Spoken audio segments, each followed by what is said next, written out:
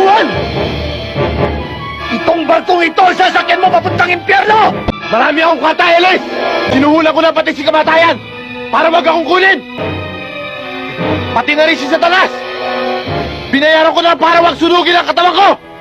Sa araw na to, Acosta! Akin ang araw na ito!